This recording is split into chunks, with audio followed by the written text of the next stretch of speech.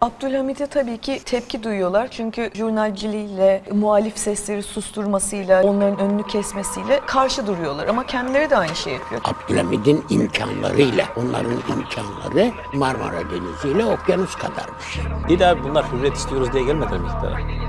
Şimdi hürriyet izafi bir terim.